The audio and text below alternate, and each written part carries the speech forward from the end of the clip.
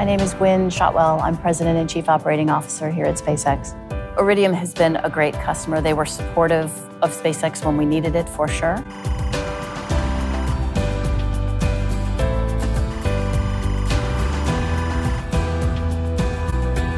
The deal was extraordinary. It was the largest commercial launch deal up till that time. It provided enormous amount of confidence that um, a well-established company like Iridium with an ongoing enterprise in space would select a company like SpaceX at that particular time in our business history.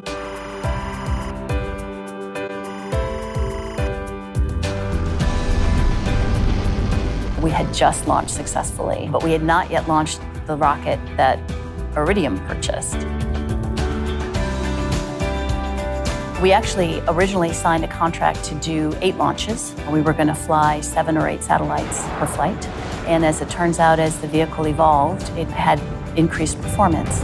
And so it became apparent that we could probably fly 10 uh, Iridium satellites at once, which is pretty extraordinary. These are not tiny satellites, and putting 10 of them on the Falcon 9 rocket was pretty exciting, actually.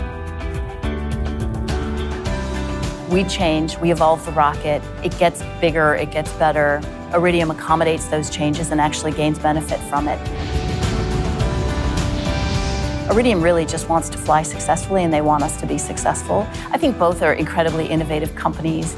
Iridium and SpaceX obviously like the concept of change, change to make it better, not change just for change's sake.